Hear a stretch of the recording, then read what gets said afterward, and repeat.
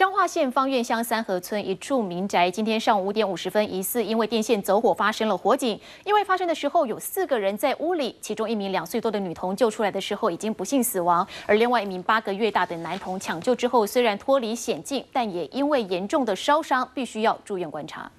彰化县方院乡一栋三层楼的透天厝，二十三号早上接近六点的时候，疑似因为电线走火发生火警，一名两岁多女童被大人抱出，但抢救后还是回天乏术。另一名八个月大的男婴受到严重灼伤，正在生死交关。在二零急救院的时候，小男婴送到那里已经是到院前死亡，经急救后恢复心跳。然后就转到我们总院了，我发觉他呢意识还是不清，插管昏迷指数三分。我们检查呢，他的瞳孔放大，对光没有反应，全身的四肢呢差不多二度的烧伤，约二十 percent。我们反正有破皮，还有水泡。发觉那左后面呢，差不多有一公分大的破皮，差不多三度烧伤。目前是极度的生命危险。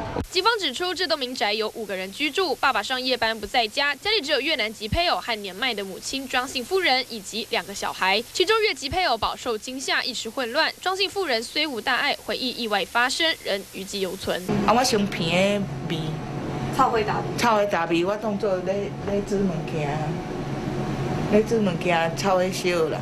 啊，我是你有看到迄个火，迄迄火一点一点安尼？无，我有看迄。电线走火，伊敢若嘣一下，嘣一下就转倒迄起来都。无情大火夺走小女孩性命，也让家人受到重伤和惊吓，而真正起火原因仍待警方调查。